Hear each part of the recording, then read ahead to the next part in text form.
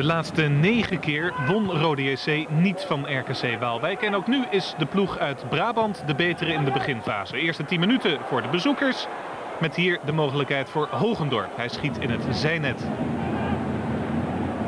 Een zouteloze eerste helft. Slecht voetbal. Roda was bang voor de counter van RKC. Maar krijgt hier zelf wat ruimte. Dit is Soetaars die hem er niet in krijgt. Soetaars die niet zou beginnen, maar in de warming-up raakte Tang geblesseerd. Veel problemen aan de kant van Roda, veel blessures, schorsingen. En die Soetaars was misschien wel de beste man op het veld. Hier zo'n counter van RKC. Met Hogendorp. Kapt zijn man uit, maar schiet dan tegen Kalac op. Kalac een van de spelers van Rode SC die weg wil. Ook voor Vrede is er belangstelling. Zat er een scout op de tribune uit Engeland. Dan in de tweede helft Jansen, die hem naspreekt. De tweede helft was iets minder slecht dan de eerste. Op een dramatisch veld met toeschouwers die de eerste helft geen geluid maakten. En met Vrede die hier een te missen kans blijkbaar krijgt. De tweede helft liet het publiek wel van zich horen. Eerste helft stil omdat ze wilden laten zien hoe de sfeer zou zijn bij een eventueel FC Limburg.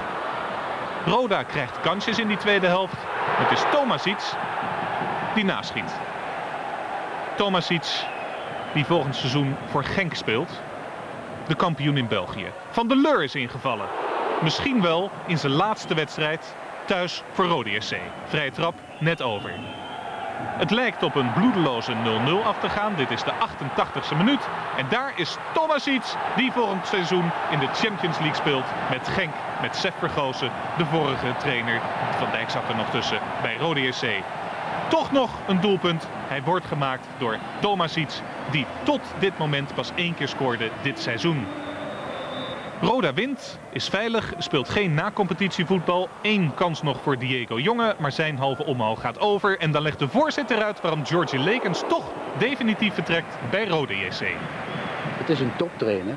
En ik denk uh, dat wij als Roda JC, laat ik zeggen, die top uh, nog niet kunnen invullen voor hem. En daar ligt het probleem.